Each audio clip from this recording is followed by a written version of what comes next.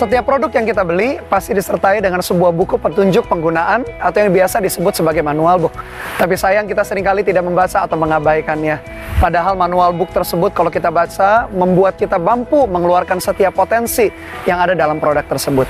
Manual book berasal dari kata manu yang artinya membuat sesuatu dan al pikiran sang pencipta. Jadi manual book adalah buku yang berisi pikiran sang pencipta mengenai produk yang dibuatnya. Kita manusia pun memiliki manual book yang namanya Alkitab. Alkitab berisi pikiran sang pencipta, Tuhan pencipta semesta alam mengenai kita manusia. Kalau saja kita membaca dan merenungkan Alkitab kita, pastilah kita akan menemukan rahasia-rahasia besar untuk membuka setiap potensi yang hebat dalam hidup kita. Oleh karena itu pastikan hidup kita memiliki gaya hidup membaca dan merenungkan Alkitab tersebut.